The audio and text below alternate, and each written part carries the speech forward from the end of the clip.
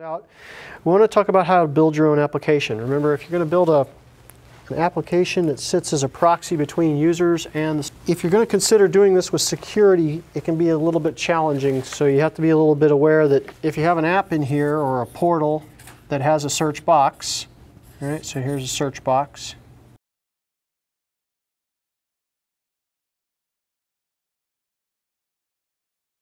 Application with a search box. You want to send uh, when you click, the user click, enters in a search term like maybe health, click on search. What's this going to send to the GSA? Did we look at that yet?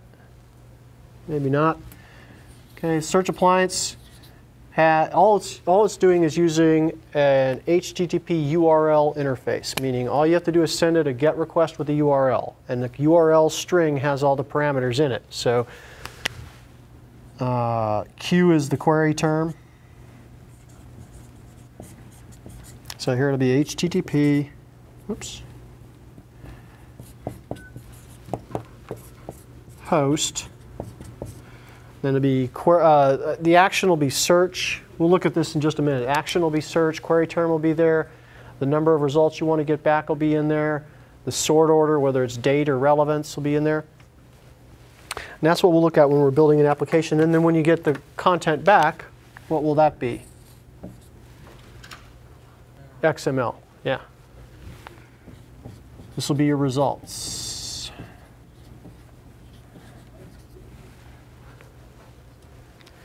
Now, if you're going to set up security here so the users are coming in and using secure search in a portal, then your application is going to have to handle that sending credentials to the GSA through whatever protocol you're going to set up with authentication, and handling the session. There'll also be a cookie coming back here, a session cookie with the GSA. So your application will have to handle that cookie and then resubmit that for subsequent requests.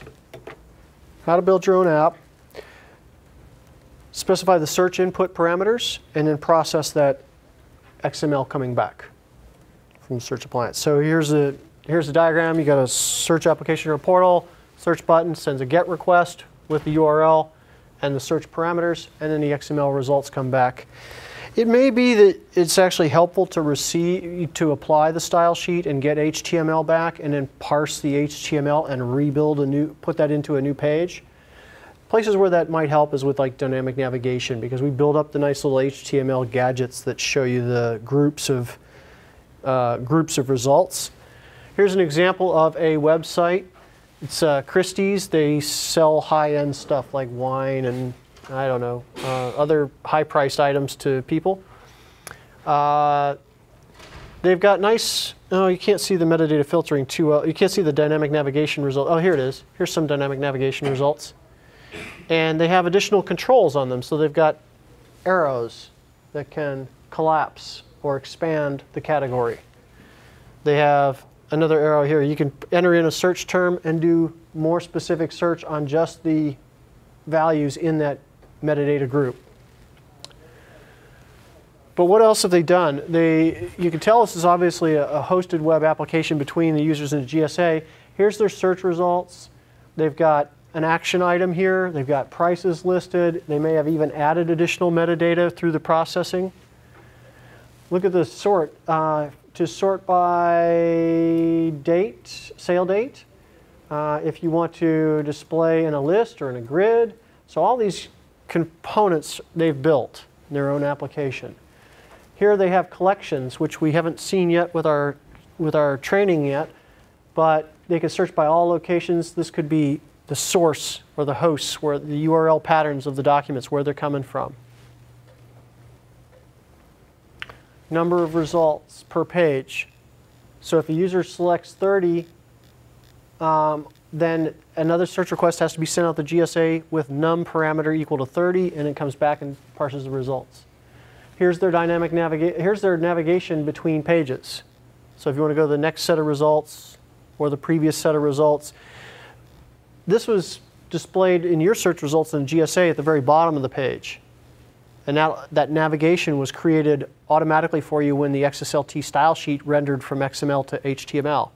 Now if you're going to interrupt that XSLT processing, you may have to build these and determine that based on how many results came back. Run a search for wine. Here's the results, and you can, this is really cool. You can slide this, here's the price bar that you can slide down and it'll regenerate the search. Looking for different range value on the price. Price is a metadata field in this case. So you can go to, let's see, they've changed their interface since I took the screenshot, so I'm gonna have to, yeah, I'd have to look around a little bit. Filter by all locations, or here's other locations, Amsterdam. So content coming from an Amsterdam server. This might be metadata or this might be a collection, not sure.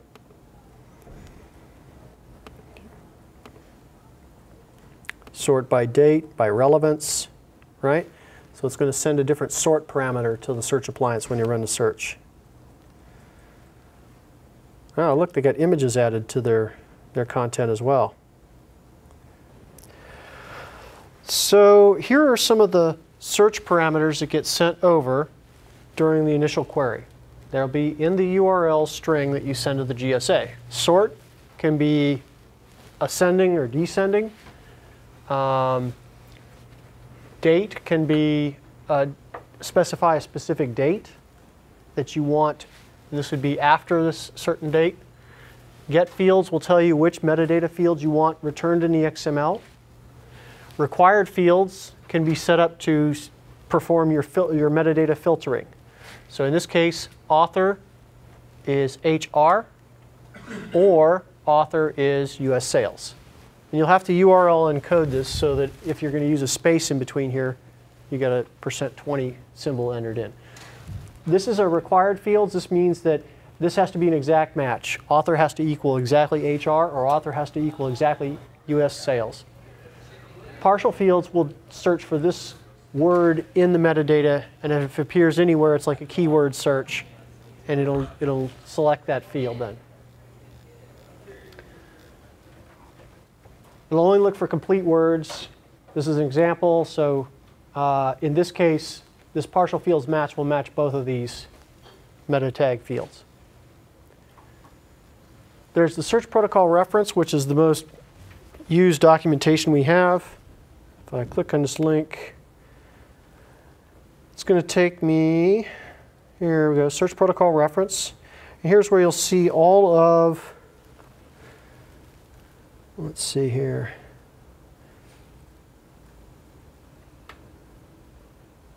If I go to the XML output, here's all the tags that get sent back. Okay. Cache this is the XML coming back, and there's quite a few entries here. HN, L, where's one we know? Um, we'll take a look at some of these. Where is one? Come on. Crawl date. Oh, there we go. So the data document was crawled. What's the cache URL inside the GSA? So when you, if the user clicks on the cache link, what do they go to?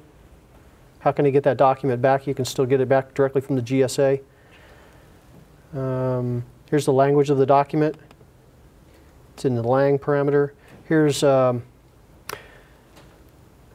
let's see, MT for metadata tag, meta tag.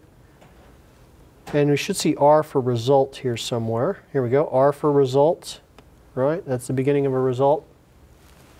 Estimated versus actual results. This is another parameter that gets sent over, the num parameter. This tells us how many results do we want to see in this page. 10, 15, 50, 100. And where do we start? Now the start parameter gets automatically sent when you're using the GSA. The start parameter will automatically get set for you. So let's take a look at this. Uh, what's general here? The. I'm going for a lot of results here at this point. So I'm just entering in the as the search term. How many did I get? Well, 1 to 10 of about 297. What is my, the, the search appliance ran the search and the GSA recognized that this was the first time you ran a search request for that search term. So let's look for the num and the, and the start parameters up in the top of the URL. I wanted to see the, the first set of num and, um, and start that got sent. It looks like it's just using default values. So start of 10 and, uh, sorry, start, start of 1 or 0. I can never remember if it's 1 or 0. And num of 10. So 10 results. Now if we click on next, like he was suggesting here, let's see what we get for start. Here's start. So start at number 10 in terms of results. So it was zero based. So the very first one by default set start parameter value of zero. This one set it to, to starting at the 10th result. If you're going to build your own application and you build this interface for next and previous, you're going to have to make, just behind those links, you just have to set those parameters. The language, if you want to filter for language on the document, there's a parameter that gets sent over. By default, it's going to be lang equals uh, lr equals lang underscore en, and it'll show each of the two character uh, codes for the various languages. ES for Spanish, JP I think for Japanese. I'm not 100% sure what some of those are. And you can also run uh, Boolean not expressions on it. So Here's the not, which would be a dash in front of it. You can also use an or expression says that I want to get documents in English or French. Language detection we mentioned on day one yesterday. Um, it's, it can be done on a web-based uh, basis based on the content on that page. So when a web server gets the content, which language is predominant, the search engine will check and then it'll set the language. Uh, if there's insufficient content, we'll use the content language header in HTTP response from the web server, if that's available. Uh, we'll also set check character encoding specified in the content type header of the HTTP equiv meta tag in an HTML document. This will override the language detection. Some documents that have HTTP headers specify the last web page is encoded as GB2312 will be recognized as simplified Chinese. So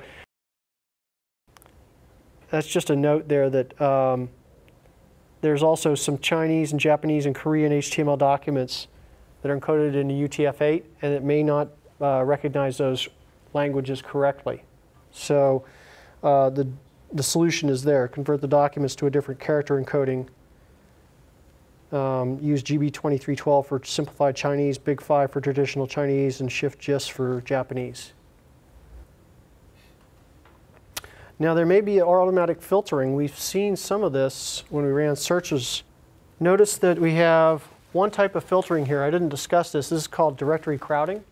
In internet-based search, it's not very common that you see documents coming from the same host on the same path uh, in the same directory. But in intranet search, it's going to be very common for users to get a lot of results from this directory. If we, if we uh, displayed all these documents down here, it would crowd out all these other results that are also relevant from other directories. So what we did was we found that users like this kind of interface where we tab and dent over, we say, here are the two most relevant results from that directory. And for more, you can get this additional, you can click this additional, uh, this link here to get the rest of them. Now, when filtering occurs, the, there's going to be a tag in the XML that gets set. It's called the FI tag. And it, if it's present, that means that there was filtering. So if you're building your application, you should display some kind of a link like this. Right, so you'll look in the XML for the FI tag. If it's there, you'll display this. Now, how do we indicate whether we want to turn this on or off in the first place? Now, uh, by default, filtering is going to be turned on for directory crowding. Let's do this. Let me, I'm going to cheat a little bit. I'm going to put the filter in there myself. Filter equals 0. That should turn it off, and I get my search result. There's another type of filtering that also occurs. Filter, if it's equal to 0, it will turn off both types of filtering. One of them is for directory crowding, another is for identical snippets. So if you see a snippet in a search result and the GSA finds another result with an identical snippet, it assumes those are identical documents. So even though the URLs may point to different documents, so it'll crowd those out. If you want to see results for them, you turn on uh, set the filter to 1, it will enable both. Set it to S, will uh, disable the snippet filtering. And if you set it to P, it'll disable the directory crowding. Here's the XML responses that come back. So we've talked about the parameters that we sent over. Now let's talk about some of the XML that comes back. The very first listing you're going to see is the query terms that were sent over in your URL. This is really valuable, especially if you're going to send over your own custom parameter okay, for processing. So let's say you want to add, well, I'll talk about that in a minute. Um, the next thing we get is the estimated number of results, M. So look in the M tag to see how many results you, you're expecting to get. Um, I'll run my search request in a minute on the other side, and I'll see that my estimated search results should have been about 297 for the. This is useful because if you're going to build up the navigation page that says next, next, next, or page one, two, three, four, five, you need to know how many page links to put in there and when to, when to stop showing a next link. It's estimated because in internet-based search, it was okay to provide customers with estimated number of search results. And the indexer runs much faster if you don't need to, if you build up, you know, if you, the way the indexer works, or the, uh, the, the, search engine works, it builds up, it, it, finds the most relevant search results first, and it finds less relevant search results later on. And so we can give you an est we can give you that first page back really quick as long as we say here's an estimate number of counts. We haven't gone through and found every single result. The FI tag, this shows that filtering did occur. If this FI tag does not show up in there, then we didn't do filtering for directory crowding. Direct, there was no directory crowding that occurred and there was no uh, duplicate snippets found. But if there was, then you might have to process, you'll process this XML and build the navigation for the additional links in there. Number of results, uh, here's the RN, here's the, or the R tag, and it's a result number one. And here's its URL, here's its encoded URL, here's its decoded URL, here's its title tag. And looking on down, uh, here's result number two, URL, title. Uh, here's the relevance ranking. So this is not very useful for external use. It's just a it's just a relative ranking of where the results showed up in the list. It's more for internal use than anything else. Here's the MT tag for meta tags associated with the result. There's the snippet. Here's the language of the document that was determined by the search engine. Now, dynamic navigation has some additional processing. When we send back dynamic navigation results, we include them in this tag called parm for parametric. Uh, let's see, we've got PMT. Here's the name of the category, department. That's what you give it as. There's a display name. There's a name of the meta tag field that was looked up. And if it's a range-based search, or if it's a range-based value, let's see if we have any range. Here's ranges here.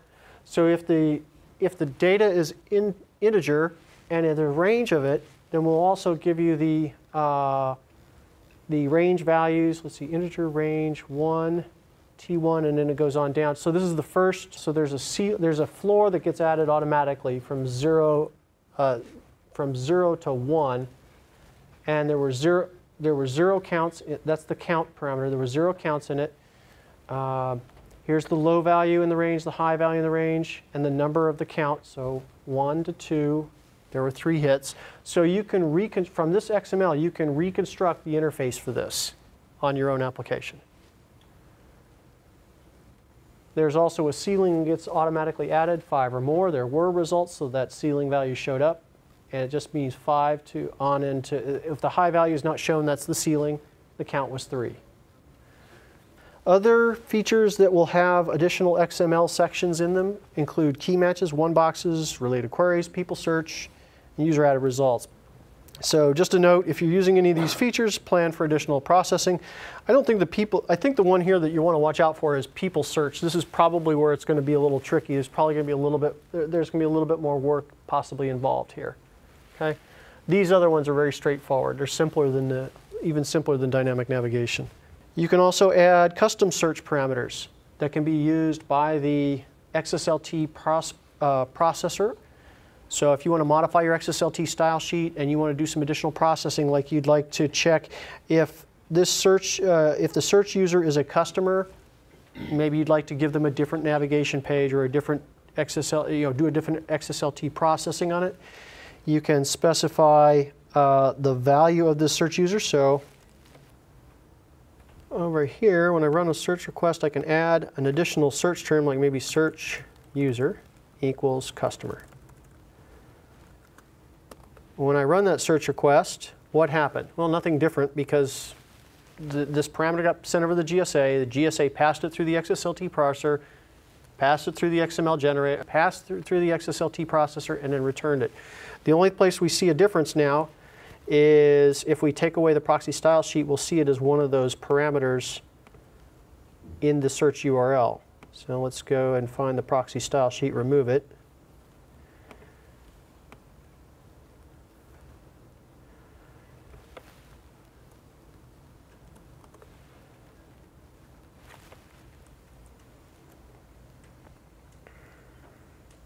And here it is. Search user, values customer. So it got passed through the whole processing pipeline. You can use it in XSLT. It, it's, it's sometimes good. It's, uh, people like to add metadata a lot of times to addi additional metadata based on who the user is or what their, you know, what their search criteria is. Maybe uh, how they got to the portal. And you can reference this, you know, because this is XML, it'll be available when the XSLT processor runs. So if you, you write your XSLT style sheet, look up for this parameter named search user and get its value, and then you can do additional, you could add additional page search criteria in there.